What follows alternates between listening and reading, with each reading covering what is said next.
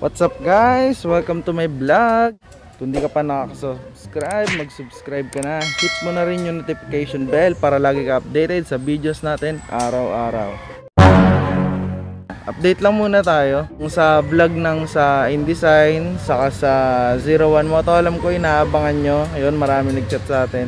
So, siguro medyo bibitinin ko muna kayo. Medyo baka matagalan mga 3 days o 4 days bago ko i-post yung isa man doon sa dalawang video na yon kasi medyo katulad ngayon di rin ako makapag-edit ng solid kasi pagod pa ako dun sa rides. Masakit pa talaga yung katawan ko. Kaya yan medyo ano muna tayo medyo pay-pay nga muna. So ngayon ayan, daily daily vlog muna tayo. Kasi kung i-upload ko agad yun sa InDesign sa sa 01 Moto guys. Uh, gusto ko medyo solid naman yung vlog na yun, 'di ba? Kasi parang para sa akin uh, pangit naman na minsan lang mangyari sa buhay natin na makapunta tayo doon sa mga lugar na yon sa InDesign sa sa 01 Moto tapos hindi pa natin gagandahan yung vlog.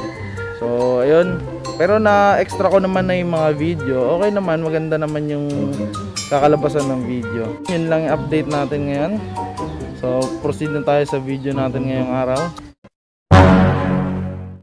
Ano ba gagawin natin ngayong araw? Ano ba gagawin natin? Gago! So, nandito na rin naman yung motor namin. Yan, i-review natin yung motor na yan kung ano ba yan. Kung ano ba yung pinagkaiba niyang motor na yan kaysa dun sa version 1 na yan. Tapos kung ano ba yung issue niyan. Kasi alam ko may issue tong motor na to eh. So, tatay ko yung may-ari niyan yung motor na yan. Tapos yung isa andon andon yan. Dalawa yung tricycle namin guys. Pero magkaiba sila. Ito kasi to barako to to eh. Yung isa kasi ano yun uh, Honda yon so ayan. Tara. Ginagawa mo pa Nagdadamo. Nagdadamo. Naglilinis ng bakura. Ano ba yung mga nakatanim dyan pa? Ano ba yung mga nakatanim dyan? Mga damo lang. Mga damo lang. Ito, may papaya. Ayun, papaya. Ayan, tinanggalan ng damo. Kumuha si Papa ng guyabano. Wow! May nakuha ka na pa? Ang bilis, may nakuha na agad. Maprotina. Ayan. Dagdag kata. Ayan, dalawa na. Oh, ayaw mo. Bakit? Tiniknan eh. Oh.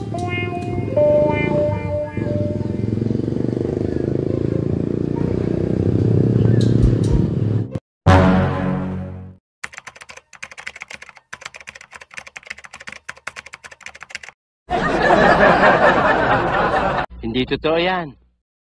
Sasagutin mo lang pa yung issue nung barako to yung sa ano, yung nag-overflow. Totoo ba yun?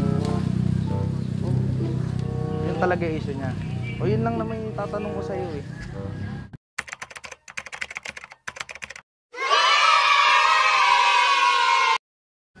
Cyril, ulit nga, ganun ka ulit.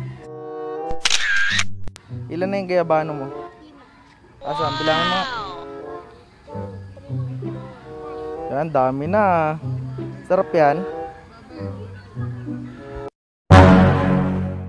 Tips tayo. Yun kasi may nagtatanong kung bakit tayo nagde-daily vlog saka kung may editor ba tayo kaya tayo nagde-daily vlog. Guys, kung tatanungin nyo yon ba't ako nagde-daily vlog? Yun kasi sinisipagan ko lang talaga kasi aspiring motovlogger din ako. Aspiring vlogger. Ayun. Pag aspiring ka, syempre kailangan mo sipagan. Kasi tayo yung mga nasa industry hindi naman tayo sikat, di naman tayo artista. Kaya kailangan pagtrabahuhan natin. Kung gusto nyo maging vlogger, aspiring motovlogger, ah kailangan yan, tsaga-tsaga lang. Then, sa daily vlogs, kung paano ko nagagawa yon yung daily vlogs guys, ano lang, stay lang kung ano talaga kayo yun, pakita nyo lang din. Sa daily vlogs, ayan, ako lang din nag-edit. Ayan. Mag-shoot tayo sa umaga, kahapon hanggang gabi edit, tapos alas 9 hanggang alas 10 yun yung premiere natin. So, ayun lang. Kung gusto nyo mag daily vlog, ayan, pakita nyo lang kung ano kayo. Tapos kung ano ginagawa nyo sa araw-araw, yun lang. Yun yung daily vlog. O, yun. Tapos, ayan, syempre yung sa rides natin, di natin kakalimutan. Edit ko naman na yun sa rides natin sa InDesign sa sa 01 Moto. Yun nga lang, medyo maganda naman. Hindi yung parang pan daily vlog lang yung datingan. So, pero kung ano, disclaimer lang, hindi ako malupit. Yun lang. Kaya, ayun. Basta asahan nyo sa channel natin, matatawa kayo, matutuwa kayo manood sa channel natin. Saka kung aspiring motovlogger ka, ito na rin, opportunity mo na rin to para sa para sa karir mo. So, ini-invite ulit kita na sumali sa Team Pangat Motovloggers. Mayroon na kaming chapters, Luzon, Visayas, Mindanao. Kaya kahit kung saan ka man, mararating ka ng Team Pangat Motovloggers. Nandito na rin si Papa. Ngayon ko lang siya. Ayan. A few moments later. Ayan si Papa. Since sa bata ako, yan, tricycle na yung bumuhay sa amin.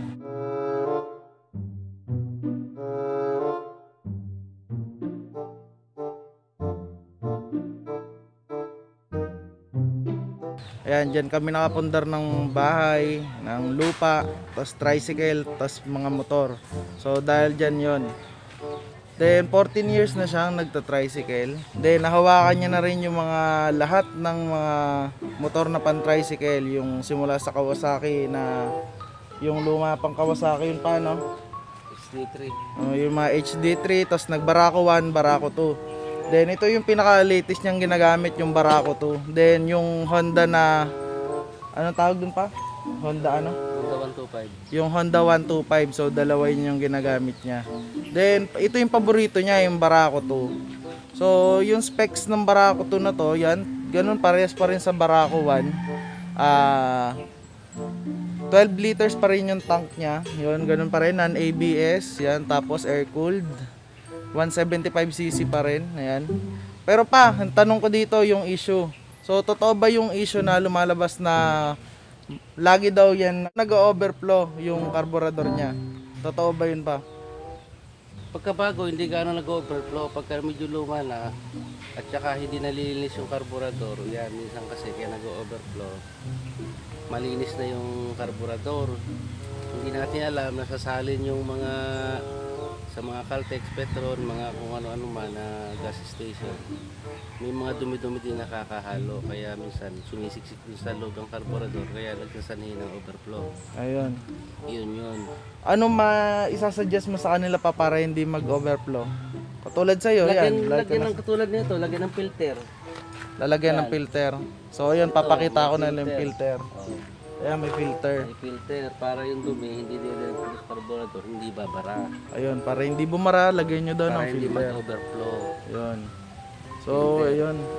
Kasi yan yung tanong na karamihan pa eh. Yung Barako 1 hindi naman daw nag-overflow. Pero nung bumili sila ng Barako 2, lag- madalas daw yung overflow. So, yun yung tanong ng karamihan dyan sa Barako 2 eh. Pero pa, kung papapiliin ka, anong mas gusto mo? Barako 1 o yung Barako 2 mo ngayon?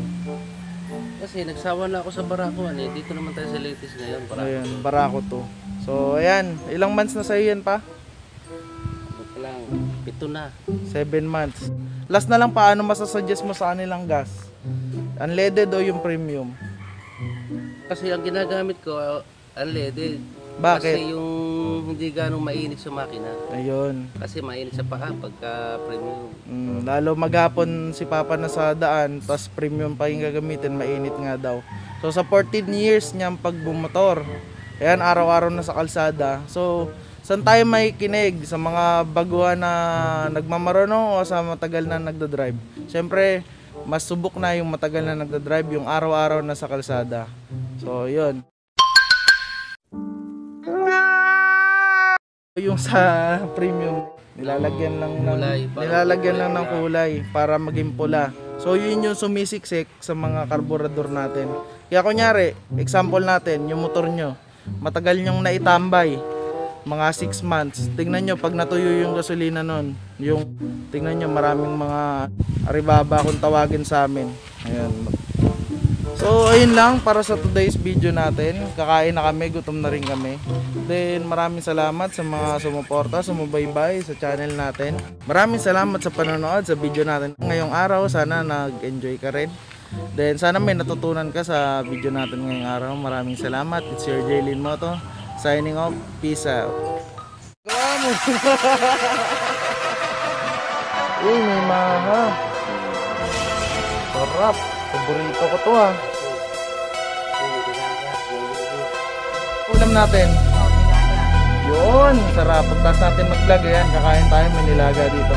Sarap!